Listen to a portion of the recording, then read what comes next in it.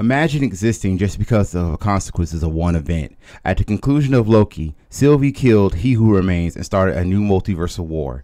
The first consequence of Sylvie started the multiversal war is Marvel's What If. Today we're going to talk about it.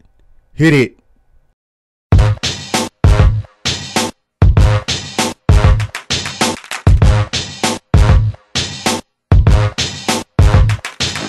Marvel's What If is a Disney Plus original series loosely based on the Marvel Comics What If. The series premiered on August 11, 2021 to October 6, 2021 with 9 episodes. What If is about your favorite MCU characters if they're taking a different route. Most of the MCU actors reprised their roles, including Chadwick Boseman, which was his final MCU appearance because he tragically passed away back on August 28, 2020. Spoiler alert if you haven't seen the show yet, so please come back later. You've been warned. So without further ado, let's get into what if. What if Captain Carter were the first Avenger? We begin with narration from the Watcher, only to observe these new realities and not to interfere. In 1943, with World War II getting intense, in the world we know, Steve Rogers becomes Captain America, turning the tide of the war. However, in this new reality, a choice made by Peggy Carter changed everything. As Steve attempted to go through with the Super Soldier program, a Hydra spy attacks and injures Steve. Left with no choice, Peggy went through the experiment much to Colonel Flynn, the head of SSR, disappointment that everything they worked hard for all went into a woman. Steve and Peggy bond over the fact that they want to help in the war but can't. Meanwhile, in Germany, John Schmidt obtains the Tesseract. Peggy wants to retrieve it, but she was ordered not to go. Howard Stark gives Peggy a suit and a shield. Peggy heads to Germany with her newfound strength and was able to retrieve the Tesseract and Arnim Zola. She gets promoted and with the Tesseract, Howard has the idea to help Steve join the fight in the war. Peggy heads out to rescue James Bucky Barnes, Steve's best friend. Bucky joins Peggy in the fight while on a mission. Steve shows up in an iron suit powered by the Tesseract called the Hydra Stomper. A montage begins as Peggy and the others were keeping Hydra on the defensive. Johann, now revealed as the Red Skull, defects from Hitler and plans to win the war with just Hydra. Peggy and the others were on a mission to find Red Skull, but it was a trap and the train exploded, presumably killing Steve. Peggy warns Steve, but she gets information from Zola that the Red Skull plans to unleash an interdimensional being to claim world domination. The team heads out and storms Hydra's base. Bucky and the others find Steve and jumpstart the Hydra Stomper. Peggy and Howard confront Red Skull and unleashes the champion of Hydra, a large tentacle monster, but it turns on Red Skull, killing him. Howard tries to reverse the polarity to send the monster back to which it came, but it wasn't enough. Peggy had no choice but to force it back in herself and she goes in the portal with it. The portal opens up again 70 years later and Peggy emerges. She is then greeted by Nick Fury and Clint Barton to tell her that they won the war. What if T'Challa became Star-Lord? In Wakanda 1988, a young T'Challa was taken by the Ravagers, but it wasn't who they were looking for. T'Challa wasn't scared and wanted to explore the universe. Many years later, T'Challa became the famous hero Star-Lord. As T'Challa and the Ravagers celebrate their latest job well done, T'Challa meets up with Nebula as they both talk about him going back to Wakanda until Yondu told him that Wakanda had been destroyed. Nebula presents a job on retrieving the embers of Genesis, nutrient-rich cosmic dust that can heal the entire planet. It's possible that they can eradicate hunger across the galaxy. However, the one who has it is the most powerful intergalactic kingpin, the Collector. The Collector took advantage of the power vacuum once Thanos went straight and joined the Ravagers. Yondu doesn't want to go through with the mission, but T'Challa convinced him. They head to Knowhere, a planet that is a severed head of, of Celestial, and they all plan the Ocean's 8 kind of plan. While trying to sneak T'Challa in, Thanos causes a distraction by getting the attention of the Black Order. As Nebula distracts the Collector, T'Challa attempts to find the seeds but stumbles upon Wakanda's spacecraft. It holds a message asking the universe to bring T'Challa back home. T'Challa was surprised that people were looking for him, figuring that Yondu betrayed him and lied to him. T'Challa is betrayed by Nebula to pay her debt to the Collector and is thrown in the cell with the rest of the Ravagers. T'Challa confronts Yondu and all Yondu could say was he was protecting T'Challa. T'Challa is to be dissected and put into the Collector's collection. However, it was all part of T'Challa's plan to get captured and keep the others out of the loop. As Nebula retreat the seas, T'Challa confronts the Collector, and with the help of Yondu, he defeats him. Yondu apologizes to T'Challa later, and they head back to Earth to reunite Wakanda and unite both of his blood family and his found family. On the other side of the world, at a Dairy Queen, an employee, Peter Quill, is visited by his celestial father, Ego. What if the world lost Earth's mightiest heroes? Nick Fury and Natasha Romanoff visit a dying Tony Stark. As Natasha administrates a temporary fix to take the edge off Tony's pain, he dies, and Natasha is accused of murder. Nick knows that Natasha didn't murder Tony and wants her out there to find out who really did. Meanwhile, in Mexico, an exiled Asgardian prince, Thor, attempts to retrieve his hammer, but he is then killed by Clint Barton. Clint Barton swears that he didn't do it. As Nick attempts to question Clint, he is then found dead. Natasha goes to find Betty Ross and finds out that the treatment was given to Tony was compromised, but due to Betty's examination, it turns out that something was administered before the treatment could have been administered. Natasha finds out that Clint is dead and recruits Bruce Banner as he was hiding out with Betty. Meanwhile, Loki, Thor's adopted brother, wants retribution for the death of Thor, and he has given Nick Fury 24 hours to produce the murderer or Earth will be destroyed. The military attacks Bruce Banner and he turns into the Hulk. However, during his rampage, he spontaneously exploded. Natasha looks into the Avengers Initiative files and finds out who's committing all the murders. She tells Nick that it was all about Hope. Natasha is then killed mysteriously. Nick is running out of time and he figures out what Natasha was trying to tell him. Nick goes and visits the grave of Hope Van Dyne. Nick is confronted by the culprit, Hank Pym, as he blames S.H.I.E.L.D. over what happened to his daughter, Hope. So he killed every single Avengers candidate. As Hank tries to kill Nick, he uses the help of Loki by creating illusions. Nick defeats Hank and he turns him over to the Asgardians. However, Loki feels that he wants to stay on Earth a little while longer as his ruler. As hope seems to be lost, Nick gets the help of his new Avengers, Captain America and Captain Marvel. What if Stephen Strange lost his heart instead of his hands?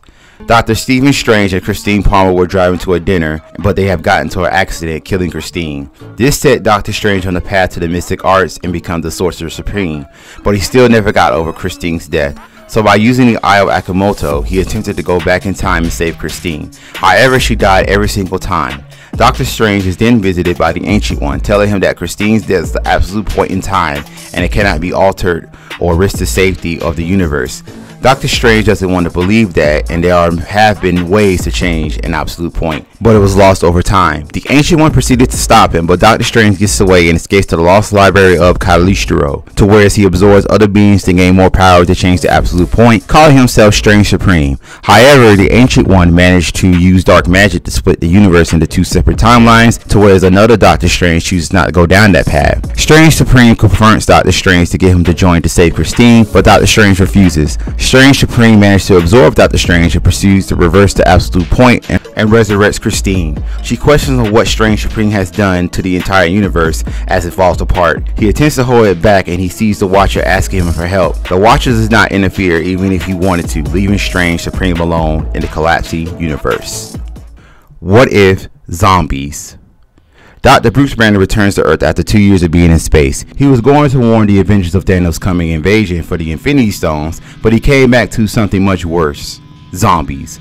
How this came to be was when Hank Pym went to the quantum realm to save his wife Janet Van Dyne, she contracted a virus which in turn infected the entire world, including the majority of the Avengers. Those who were left were Peter Parker, Hope Van Dyne, Happy Hogan, Okoye, Bucky Barnes, Sharon Carter, and Kurt. The survivors recruit Banner to get to Camp Lehigh to develop a cure, but not without losing two along the way, Sharon and Happy, by other zombie Avengers. During the fight, Hope is then infected right when they make it to the camp, and she used her last moments to get the others into Camp Lehigh. They find Vision, and he was able to cure Scott Lang. Well, most of him, by using the Mind Stone. Bruce and Okoye come up with a plan to broadcast the Mind Stone's frequency across the world, curing everyone. However, Vision had housed a zombie Wanda Maximoff, which she was resistant to the cure, so Vision kept her hunger and power at bay by feeding her pieces of T'Challa to Wanda, which was why Okoye was one of the survivors in the first place. Seeing the error of his ways, Vision helped the others escape, but lost Okoye in the process. Kurt and Bucky were also killed by Wanda. Instead of going with the survivors, Vision rips the Mind Stone from his head, killing himself and giving it to the others. As the survivors try to get to the Quinjet, Bruce stayed behind to fight Wanda as the others escape. There seemed to be a glimmer of hope for the three survivors, T'Challa, Peter, and Scott. They head to Wakanda to save the world, but unknown to them, Wakanda was already infected, and a zombie Thanos was waiting for them with five of the six Infinity Stones. What if Killmonger rescued Tony Stark? As Tony Stark's convoy was attacked by the Ten Rings, but he is saved by Eric Killmonger. Later, Killmonger reveals that Obadiah Stane was behind it all. Tony makes Killmonger head of security and wants to build more weapons. Killmonger has an idea for a self-operating robot drones by using the ring made of vibranium. They need more, so Tony and Killmonger set up a deal with Ulysses Klaue to purchase more vibranium with the help of James Rhodes. But it went sideways when T'Challa comes to take the vibranium back, but is killed by Killmonger. Killmonger then double crosses Rhodes and kills him. Later, Tony figured out that Killmonger killed Rhodes and tried to kill Killmonger with the armed drone, but Killmonger defeats it and after killing Tony. Killmonger makes the drones go to war over Wakanda. However, Killmonger had different plans as he gets to kill Klaue and use them as leverage to join Wakanda. He uses the drones to get inside Wakanda and leads Wakanda army to victory. Later, King T'Chaka made Killmonger the new Black Panther. While Killmonger went to the astral plane, he is confronted by T'Challa asking Killmonger everything he did was worth it and stating that one day stealing power will come at a cost. Princess Shuri meets with Pepper Potts with the proof that Killmonger killed T'Challa, Rhodes, and Tony, agreeing that it will take Killmonger down together.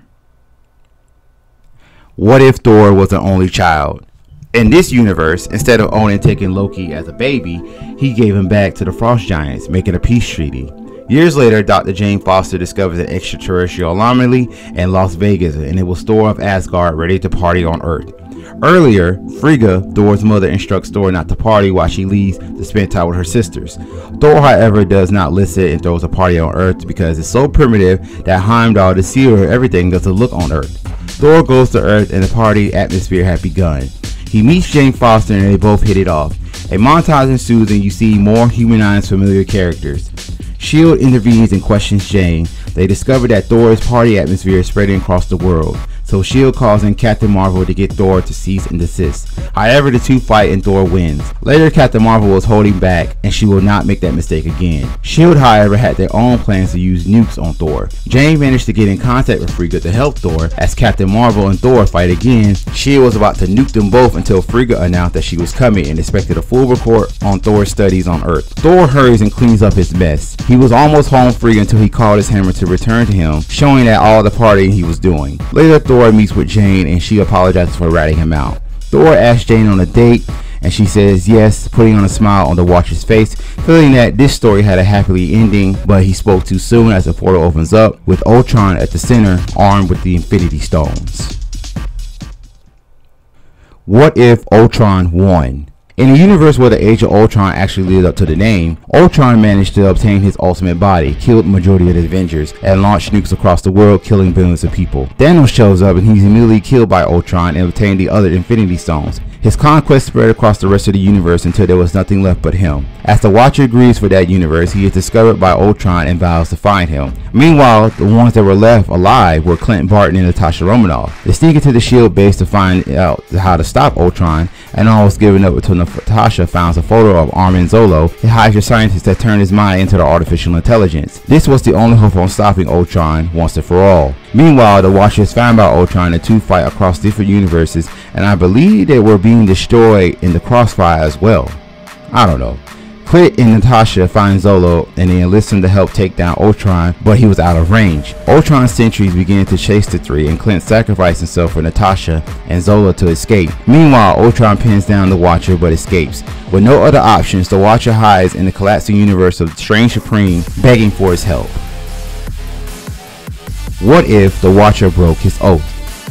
The Watcher recruits heroes from across the multiverse, along with Strange Supreme, Captain Carter, Star-Lord T'Challa, Eric Killmonger, Gamora, and Thor were all brought together as the Guardians of the Multiverse. They are brought up to speed about Ultron to come up with a plan to stop him by using the Infinity Crusher from Gamora's universe. As they wait to attack Ultron, Killmonger is grown a little too attached to one of Ultron's sentries and Gamora naturally doesn't trust him. Thor attracts the attention of Ultron and he commences his attack. After a struggle, T'Challa manages to get the Soul Stone. The Guardians all head up to Ultron's world and they all meet up to that world's Natasha. The Guardians team up with her and manage to use the Infinity Crusher on Ultron, but it doesn't work, with Gamora saying that it was only designed to destroy the stones from her universe. Natasha and Peggy come up with a plan to infect Ultron with Zola's programming, which they succeeded. However, Killmonger gets the stones for himself and tries to convince the other Guardians to join him, but they refuse.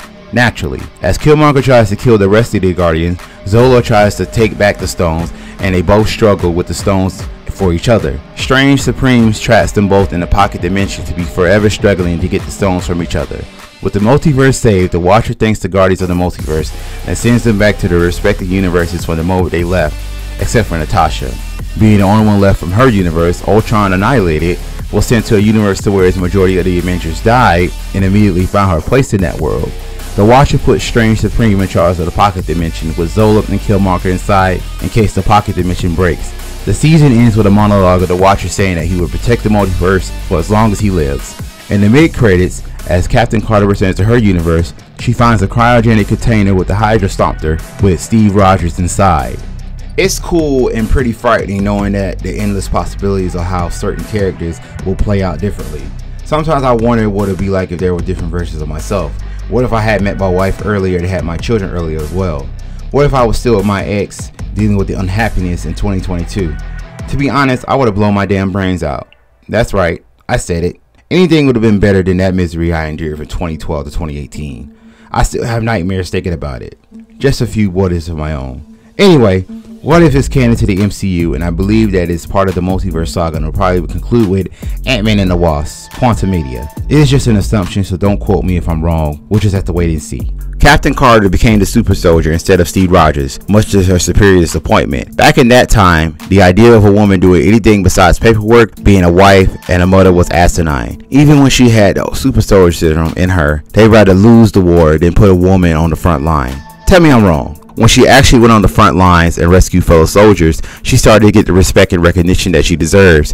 She was doing more and better than Steve ever could as a super soldier, in my opinion. Characters from the Captain America movies' destinies were very different from their counterparts. Bucky never became the Winter Soldier once they got to the train scene. Steve became the world's Iron Man in the 40s, but could Tony could still became Iron Man based on his father's design of the Hydra Stomper. There's no telling how different each film would have gone since Peggy Carter became the super soldier. It would have been a cool world to see. T'Challa Star-Lord was way better than Peter Quill Star-Lord for obvious reasons. He convinced the Ravagers to be the force for good. Even everyone knew who he was, praising his name throughout the galaxy. He even convinced Thanos not to fulfill his quest to wipe out half of life in the universe with the Infinity Stones. He even joined the Ravagers. But you notice that he was kind of weaker when he went up against the Black Order? Like, how? Yondu was pretty much the same, the surrogate father, but is still alive. Besides dealing with ego, it's say that that universe is mostly prosperous.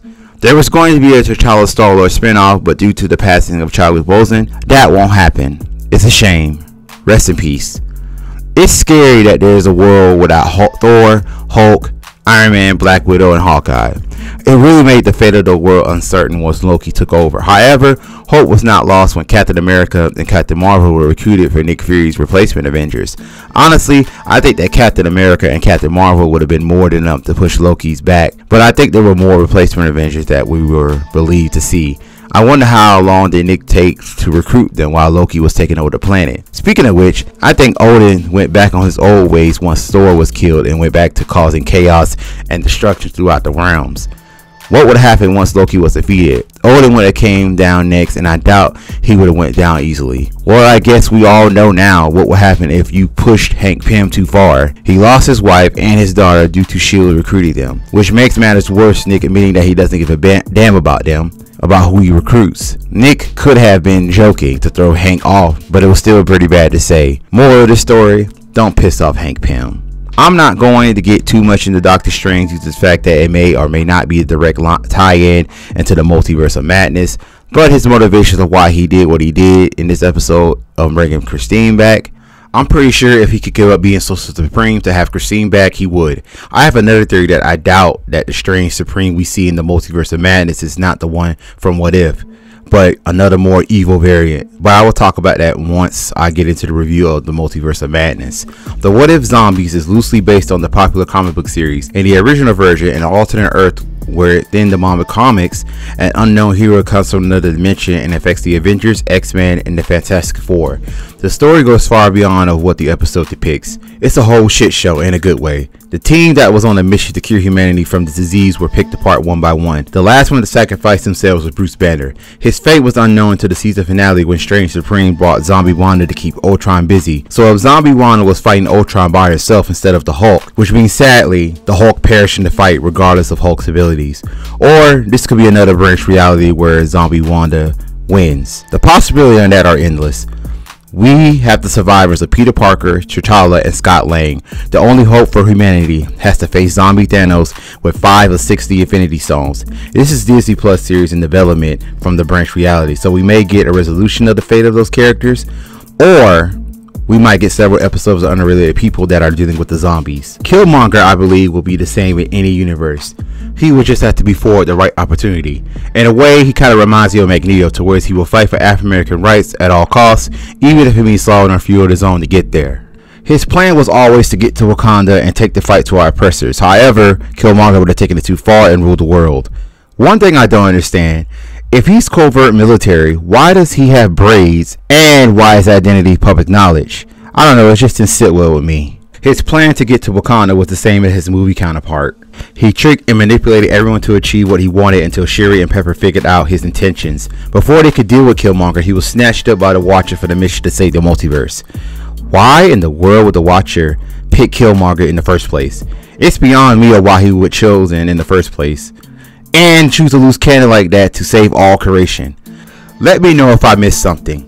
The party universe seems like a happy place. However, it seems like what comes with irresponsibility and irresponsibility of whoever Thor comes in contact with. Kind of like Project X from when a harmless party gets out of control. Thor was a younger, more immature guy and it seems like he got off easy with his mother when she found out that he was partying too hard again and neglected his studies. I wonder what would happen if Odin got wind of Thor's partying again I'm pretty sure that Odin would have punished Thor to the highest degree. Probably would have taken his power and I don't know, sent him to a distant planet so he can earn his powers back. what if Ultron 1 is what Age of Ultron should have been? Let's face it, Age of Ultron, the movie was misleading. The title, anyway. It was just a marketing strategy to get ticket sales. What I liked about this Ultron is that he didn't stop there once he obtained the Infinity Stones. Was questions on how and when did Thanos get the Time Stone if Doctor Strange ever went to Titan. I think that he paid Strange a visit right before he went to attempt to get the Mind Stone from Ultron, but it's one thing I noticed. Another is that exactly how long did it take Ultron to annihilate the entire universe? A couple months? A few years? Probably less due to his power over all Infinity Stones. But it's good to wonder. But how did he manage to cross the universes with those set Infinity Stones? I thought if he crossed universes, the Infinity Stones were nullified. But from what I can find is that Ultron managed to look through the fabric of space and time and sense the Watcher through the Nexus. When the Watcher and Ultron were fighting, they traveled through countless universes and inadvertently destroyed some in the process. To support that matter, what Infinity Stones came from a different universe, their powers are still the same but also have none of their weaknesses, as we learn later on when the Guardians of the Multiverse tried to use the Infinity Crusher on Gamora's universe. Even though he left the universe to pursue others, he still left some of his sentries behind in any event anyone possesses a threat to eliminate him. But it wasn't enough for Natasha and Clint to find a key that they needed to defeat Ultron. When the Guardians defeated Ultron, and Killmonger grabbed the Infinity Stones for himself and tried to convince everyone, but they couldn't sway them. But Zola tried to take the Infinity Stones as well, and they were both trapped in the pocket dimension, observed by a strange Supreme. But I got one theory since the main MCU Killmonger died with the passing of Chadwick Boseman. There are rumors that Killmonger will return for redemption art in Black Panther Wakanda Forever that is hitting theaters November 11, 2022. But it's just rumors and speculation on my part, so take it with a grain of salt. Now, Natasha being the only one left in her world is a sad moment, but what grinds my gears about her ending is that the Watcher brings her to the world where the Avengers have performed. I don't know why the Watcher didn't send her to the one universe where she has been missed the most. Okay, okay, of course there would have been some differences of the Natasha and would have brought down the main MCU Natasha sacrifice and would have been treated like an afterthought. What If's renewed for a second season but got pushed back but it'll be on later this year, tweeted by MCU directly. Hopefully. So what do you guys think on where would What If take the Marvel Cinematic Universe? Let me know in the comments. That's all for today. If there's a TV show, video game, anime, special video idea, or movie, be sure to contact me. So thank you guys for watching. Don't forget to like, subscribe, and share. And I will see you all next time.